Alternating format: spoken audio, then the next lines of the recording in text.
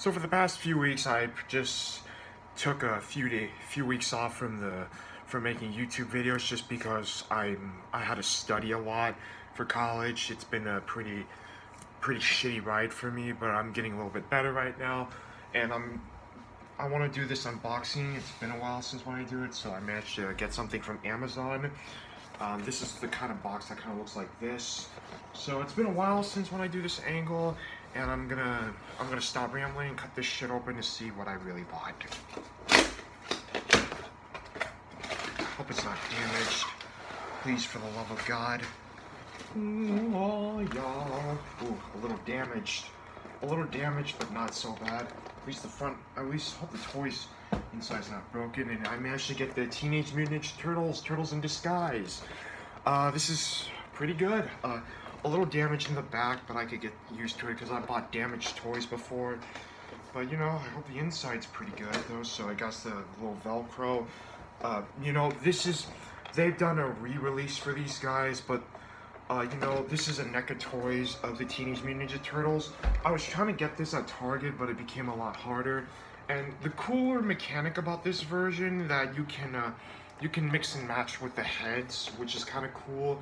I wish they could have done that before a few a few years ago from the SDCC. I didn't. I tried to buy the SDCC on 2017, but I didn't pick that up. Um, just because you know I didn't have a lot of time. The pricing was kind of crap, so I was like, yeah, I don't care if they release one of these. I'll get this instead. So I'm very happy to get it. It is brand new. Uh, you can tell by the tape right here. Yeah, like I said, it's a bit bent in the back because, you know, I've been at Target before. I've seen a lot of damaged toys before. And this dude cost me a lot, around like a hundred or two hundred bucks, but I managed to get it. Um, you come with a lot of accessories like the pizza, all the skateboard, the boombox, uh, uh, the mask everywhere, all that shit. But I'm really looking forward to play this kind of stuff because I really have a lot of enjoyment.